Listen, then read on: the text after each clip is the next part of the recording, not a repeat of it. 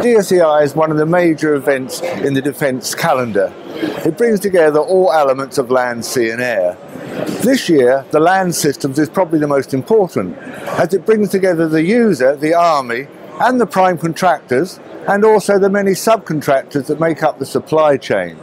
This year, a number of new vehicles are being shown for the first time, not only within developed in the United Kingdom, but also developed worldwide. Attendees this year will see the first example of the uh, Scout, which has been named Ajax. That has been shown on the General Dynamics stand. On the Lockheed Martin stand, we have the latest Warrior Capability Sustainment Program. And being unveiled later today from Singapore is the Terrex 2 amphibious APC. Also, countries like Turkey have bought their armour, Spain has bought their self-propelled mortar system. So it really is an international exhibition, but it brings together the user and industry from all over the world to talk about what's happening, technology insertions, um, new user requirements, and the exhibition is backed up by a number of excellent briefings from the various elements of the armed forces saying what they want to do in the future and how industry can help them do that. Typical international contractor at the show is Iveco Defence Vehicles. They are very much into international cooperation.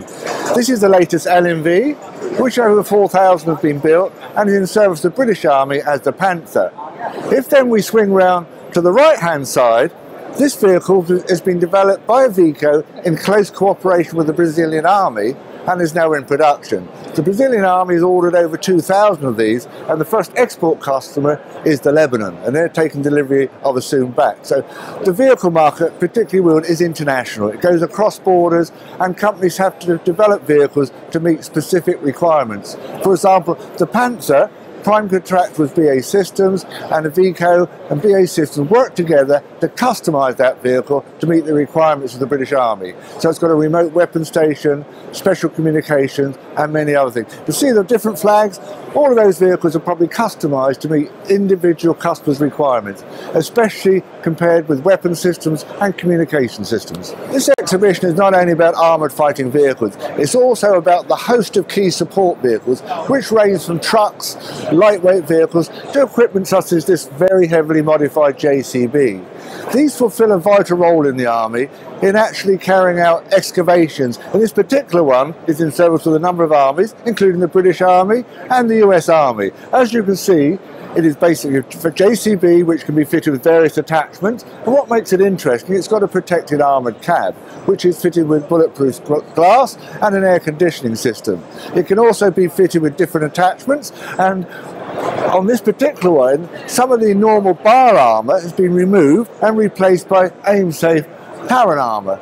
The advantages of that, it saves about 400 kilograms in weight. So you can either add some extra armour somewhere else or put other equipment on. So that provides an increased level of protection against rocket propelled grenades.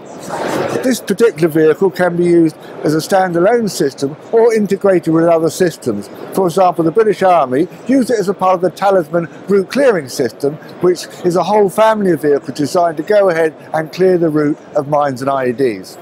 A large number have been built for the US Army as a high mobility engineering excavator, and that is used by the combat engineers for a variety of roles in the forward battlefield area. That's why it's got protection and an air-conditioned cab.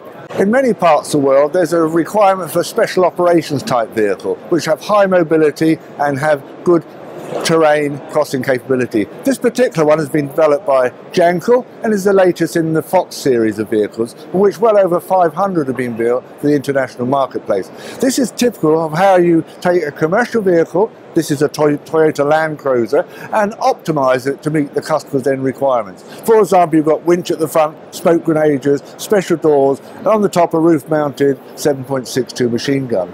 This type of vehicle, every particular customer wants something different. So you can have it with a petrol engine, a diesel engine, manual transmitting, automatic. So you customize it to meet the end user specific requirements.